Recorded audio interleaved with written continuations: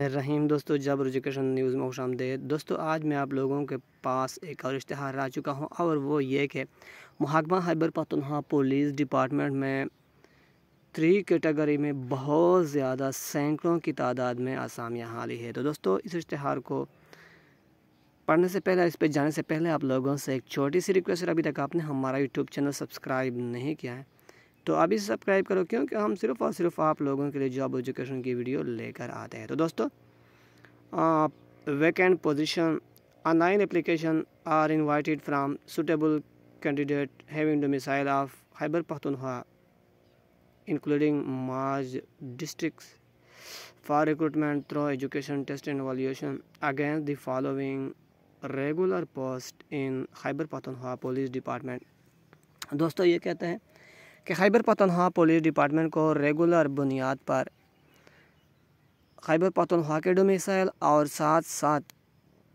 जमशुदा असला के domicile holder भी अप्लाई कर सकते हैं। तो दोस्तों, पहले नंबर पे है कंप्यूटर ऑपरेटर। इसके लिए सेकंड क्लास बैचलर डिग्री या B S B C S या B I T four year इसके अलावा इसके लिए अठारह से तीस साल उम्र और आसामियों की तादाद नौ है। इसके अलावा उन्होंने माज डिस्ट्रिक्ट भी खैबर मोमन बाजौर अफजाई कुरम, साउथ वज़ीर और नॉर्थ वज़ीर सभी को उन्होंने बयालीस कैटेगरी में तकसीम किया गया है। और इसके अलावा दूसरे नंबर पे है assistant B P S sixteen, bachelor degree from from recognise university, अठारह से तीस साल, अट्ठाईस साल और मेरिट पे छः है, बाकी zone one, four, two, three, total असामियाँ अट्ठाईस है और फीमेल की तीन असामियाँ हैं और माइनॉरिटी की वन है।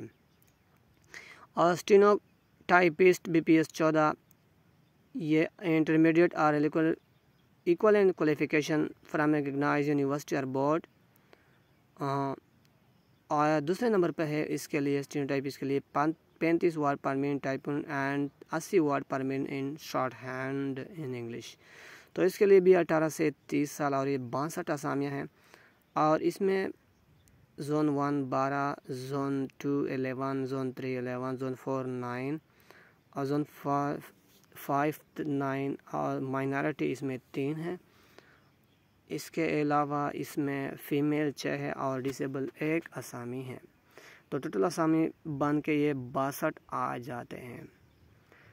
इसके अलावा दोस्तों, इसके लिए अप्लाई कैसे की जाती हैं? दोस्तों, मैंने ईटा पे बहुत ज़्यादा अप्लाई की है और इसका तरीक़ाकार भी बताया है।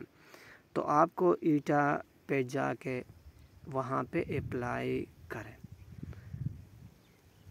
इसके अलावा दोस्तों, वहाँ यहाँ, इसके लिए कोई तजुर्बे की ज़रूरत नहीं है। हमारे साथ जुड़े रहिए हमारे यूट्यूब चैनल को सब्सक्राइब करते रहिए।